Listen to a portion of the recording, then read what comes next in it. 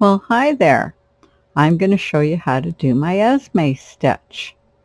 Really easy stitch, beginner friendly, um, and a lot of fun to do and it goes up really fast and it's really pretty.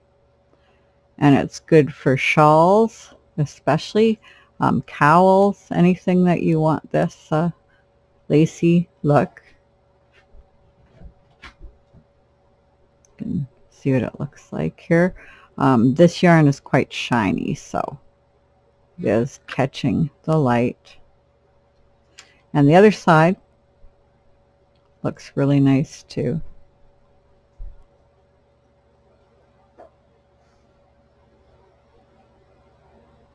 Okay, and I worked out an edge that actually works with it because it's a very long stitch. So you needed a long edge stitch and I wanted one that didn't curl and um, managed to get one that actually goes with the stitch. It actually looks a lot like the stitch.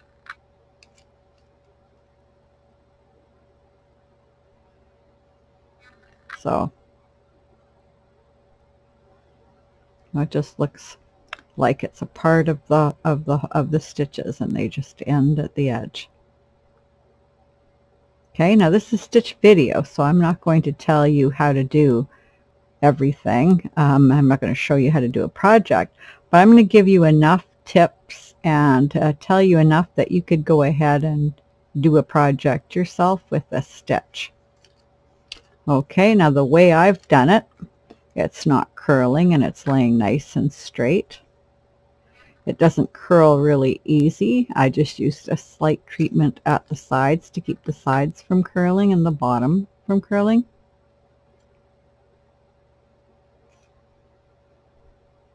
As you can see, it's just very, very straight. No curl anywhere. So I will show you how to do that. We are on a CinDWood loom. And this one is a 3 quarter inch 30 pegs.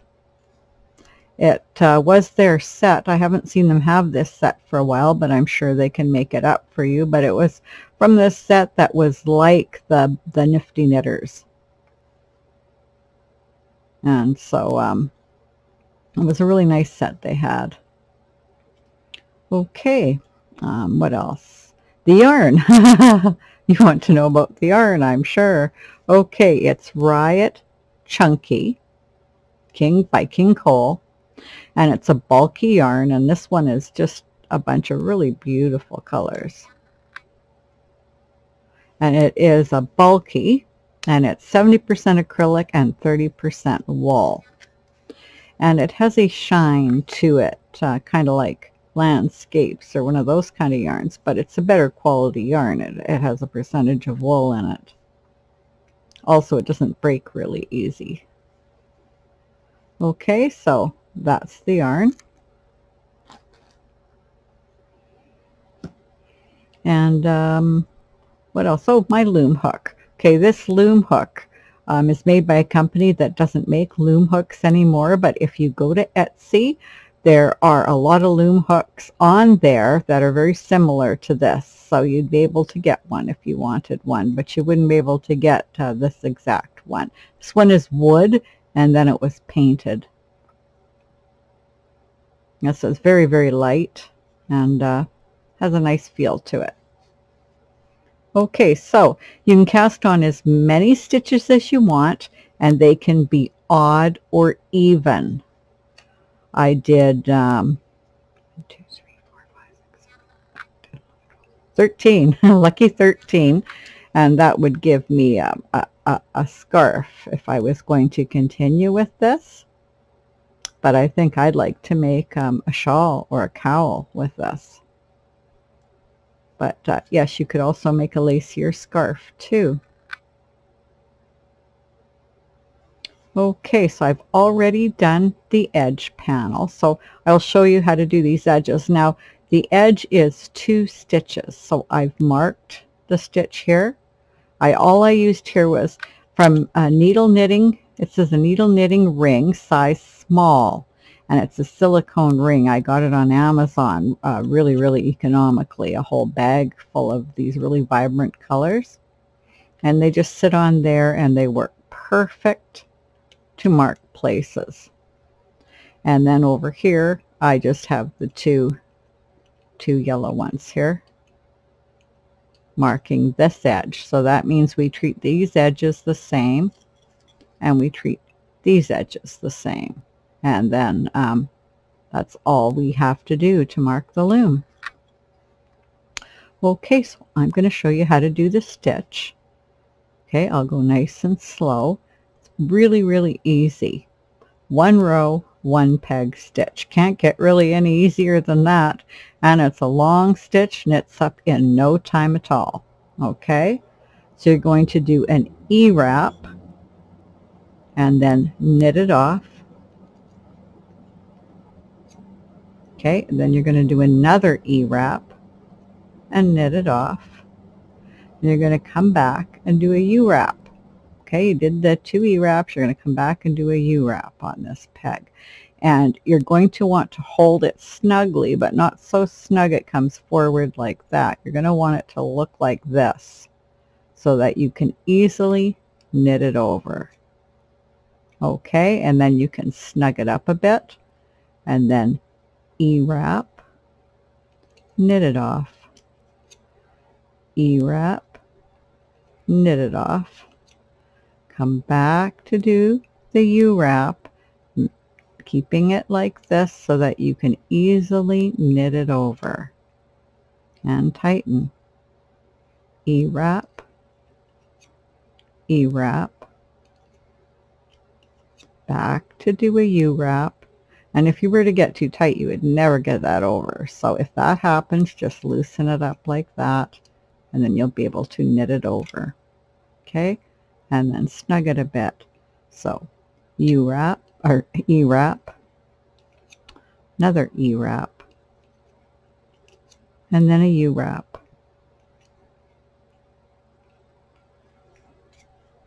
And tighten. E-wrap, E-wrap and U-wrap. E-wrap, E-wrap, U-wrap. And if we just leave it here for a second and we take a look, you see how much longer this is than here? Just really, really going to grow. Look at how much more work we have than over here. Just very, very, grows very, very fast. You can whip up fancy, uh, fancy scarves and cowls for Christmas gifts in no time at all with this stitch. Okay, E-wrap, E-wrap, and U-wrap. E-wrap, E-wrap, and U-wrap. E-wrap, E-wrap, and U-wrap. And then we're at the two edge stitches. So here's how we're going to do that. When we first approach them, we're going to do a purl on peg one of the edge stitch and a purl on peg two of the edge stitch. And this is what's going to keep the edge straight and prevent it from curling. Then we're going to come back over it nice and loose. Make sure that's loose. Now we're going to knit this edge over nice and loose. And then from behind, we're going to come back in front and knit it over nice and loose again. Now that puts three stitches on each of these pegs which actually balances with this so that the edges will be the same amount of work as what's going into the body. So it will hang straight and be nice and look similar and have the same amount of stretch. Okay? So then after we do the edges like that, we come back and do an E-wrap E-wrap and a U-wrap this way. Okay, so E-wrap, E-wrap, U-wrap. So that's all we do. It's the same stitch. E-wrap, E-wrap, U-wrap, E-wrap, U-wrap, U-wrap. Okay, and snug. Now we're just going to do that right to the end.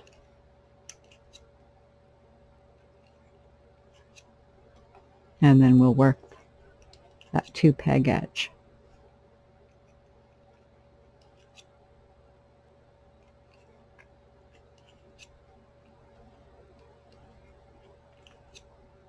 And it's nice to have some stitches like this. So if you have to come up with a quick shawl or cowl, you can get one in no time at all.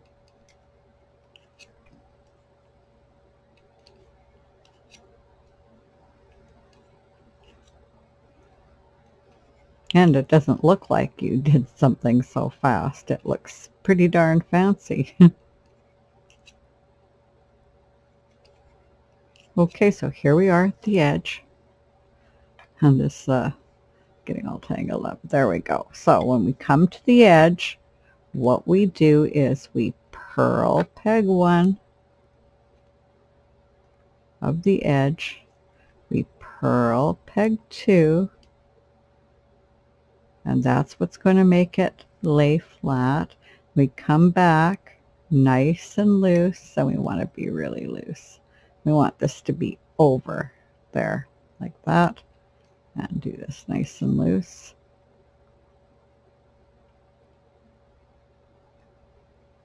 And then we go back around and come over it nice and loose again. And that's what's going to give us the length that we need at the side. Okay, so we can take a look at this again. And as you can see, it's grown quite a bit. Doesn't take any time at all. And uh, a really, really pretty, pretty stitch. You can kind of hold the, the shape for you so you can see what, the, what it's like here. It's really, really pretty. And on the other side, looks really, really good too.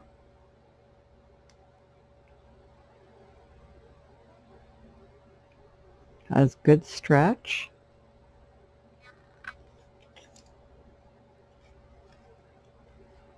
And um, of course, you always stretch your work when you're done. But I'm going to hold it open so you can see the pattern better. So if we were to use a thinner yarn than this, it'd be more like this. You'd still have all this fancy work in here. Oh, I didn't tell you how I did the, the cast on either. Okay, so I just did a chain cast on and this cast on will be linked on this video. You just scroll down in the description and you'll see it and the bind off that matches it will also be there. So I did the cast on, then I did one row of knit and one row of purl just so that this would lay flat.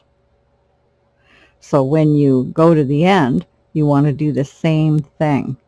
So right when you're done, you're going to do a row of purl, a row of knit, and then cast off. And that's all you'd have to do to do a flat panel with this. Pretty easy, and I've showed you how to do it the edge. And you can do any edge you want, but what you have to do is make sure your edge is long enough, or what's going to happen is, if let's say we just slip this, well, that would be really, really tight in here, and so it would never hang straight. You need a long edge with a long stitch like this. And um, the best thing you can do is to try to get one that actually goes with the stitch.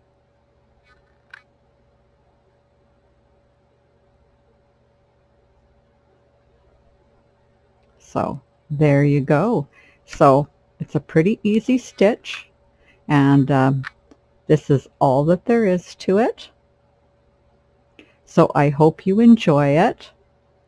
And until next time, bye.